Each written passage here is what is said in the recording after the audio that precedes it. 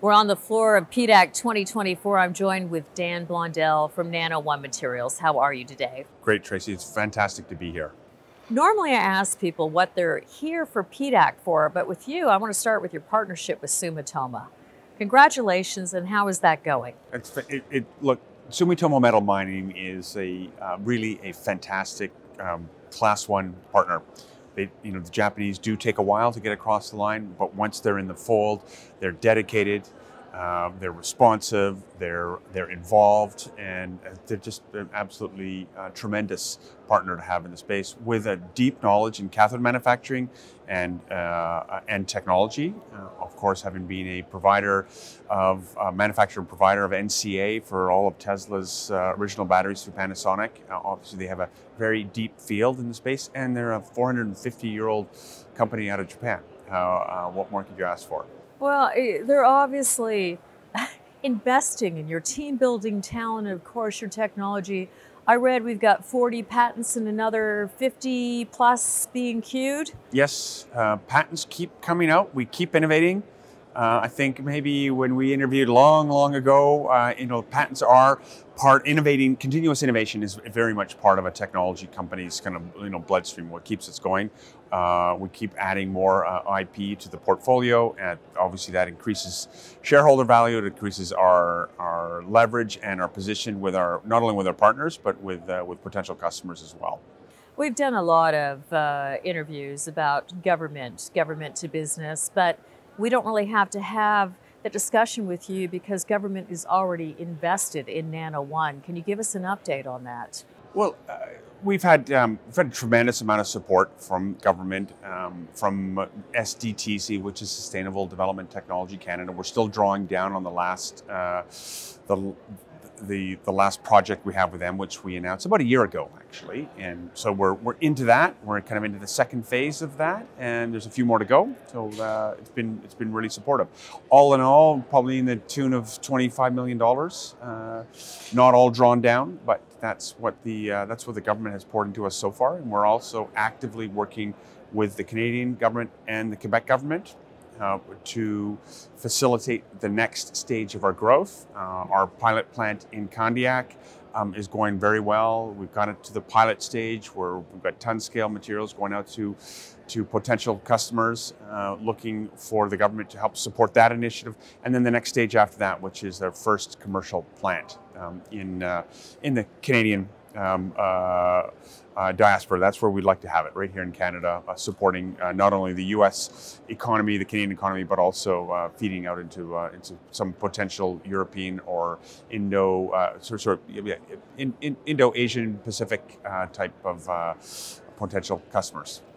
We've been asking CEOs in our interviews to give investors three competitive reasons why they should put Nano One materials at the top of their due diligence list. What would you say today, Dan? How would you prioritize your competitive company strengths?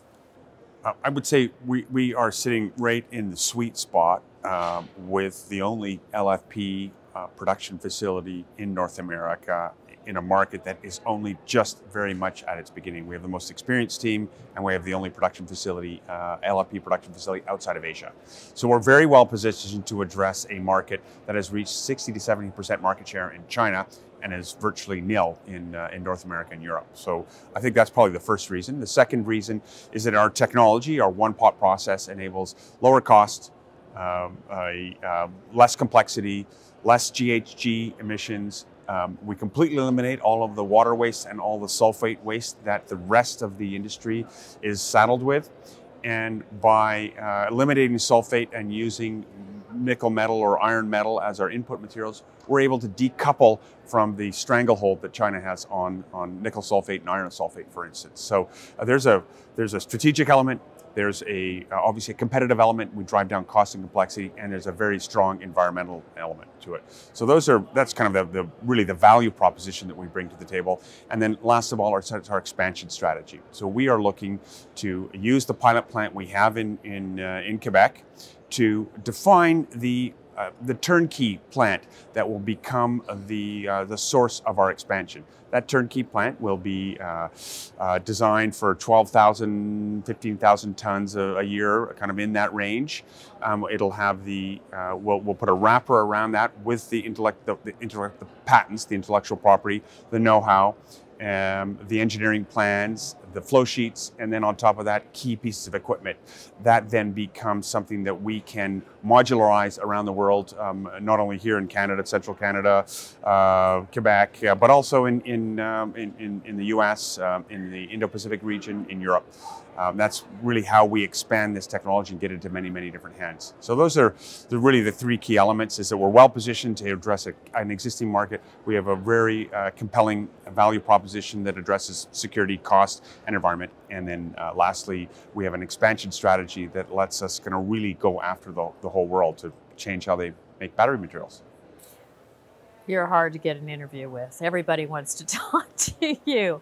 So I'm going to take this opportunity to ask you what is your vision for 2024? What are some of the key highlights that you're striving for? So, for those of us kind of who, who know the story, maybe don't, um, we have a pilot plant in Quebec, and we're using that to sample out materials for validation with with uh, potential off-takers, looking to to uh, have visibility and sight lines on offtake and by you know in 2024 and and and into 2025 as well. We're going to be growing our customer base. So those are the that's the first two key things. Last year, we completed the pre-feasibility study study on, uh, on, a, on our future expansion plans and we're right now midway through a feasibility study, which will be complete by mid-year. That will give us better capex and opex um, uh, sightlines on the plant, and actually enables uh, uh, us to have kind of a, a, bankable approach towards lenders on, you know, project lenders and project financiers.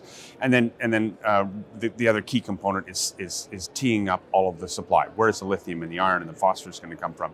So we're putting all those procurement strategies in place, lining up our uh, our, our sources of those materials for uh, for for the future expansion. So you can expect news, you know, towards all of that in, the coming year. You can expect news, uh, uh, we believe, on, on additional support from both the federal and the uh, and the provincial level uh, in the initiatives we have, and uh, and and really uh, a, sort of not only a pan Canadian, but I think a very much a North American uh, strategic effort towards bringing LFP to market to address uh, uh, the, the, needs not only in industrial storage but also in uh, in, in, really the, the, the mass market electric vehicle space. Well, again, congratulations on your partnership with Sumitomo, and as always, it's a real pleasure. Thank you, Tracy. Pleasure is mine as well. Thank you.